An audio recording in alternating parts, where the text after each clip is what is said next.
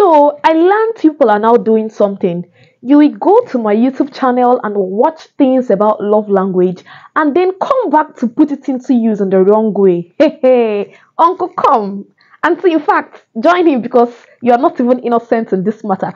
So, yes, I talked about love languages and I talked about them because I think it exists. Everybody have their love language. But you people are using this thing in the wrong way. Because, so what is now happening is Uncle will say, Auntie, I speak your love language. It is words of affirmation. I buy you gifts. I give you quality time, acts of services, but you're not speaking my own. Auntie when I say, Uncle, what is your love language? And I will tell you my love language is physical touch. Gay, gay. So you want to be doing physical touch love language when you're still cotton.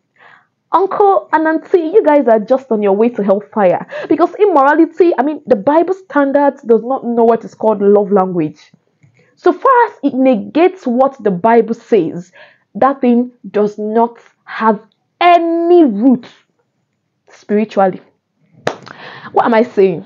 Anybody that comes from anywhere, no matter how educated or uneducated, to tell you that his or her love language is physical touch, at least just small kissing now or small touching. I'm not saying let's do the main thing, but you need to feed my love language as well because we're in a relationship together.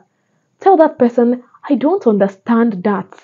You are I mean, it is not bad that you know your love language is physical touch. You're a human being, but you are not allowed to explore that until your marriage. Why? Because if you explore it, it is sin. You are not supposed to touch a sister inappropriately or touch a brother inappropriately who is not yet your husband or your wife.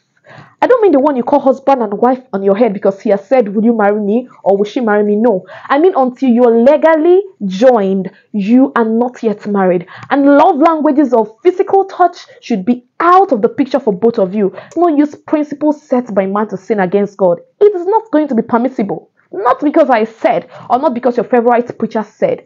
Sin is sin. Immorality is immorality.